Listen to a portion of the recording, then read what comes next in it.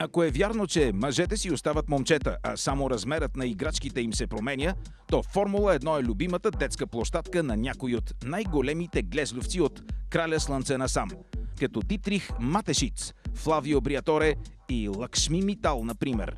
Защото какъв ираче е смисълът да имаш няколко излишни милиарда в джоба, ако не ги инвестираш в един болит, който после някой пишлегар я от Баварските Алпи, я от най-тъмната част на Индия да разбие барабар с сърцето ти, като се шибне с 300 км в час в мантинелата.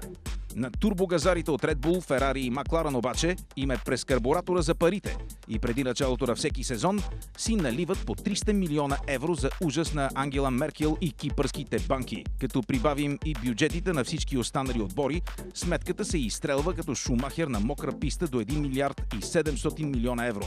И така всяка година. Сумата е толкова стряскаща, че дори шефът на формулата Бърни Екълстън, онзи дребосък с хубавите щерки, реши да се прави на по-язуит от папата и предлага да се въведе таван на бюджетите от 200 милиона евро. До тогава обаче има още много бензин да изтече, а и тези мерки едва ли притесняват Фернандо Алонсо, най-скъпо платения пилот в последните години.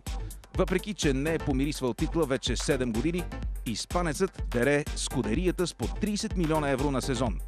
В сравнение с него, настоящият шампион Себастиан Фетел е като залинял пенсионер от източна Германия, който все пак се оправя някакси с 22 милиона евро годишно.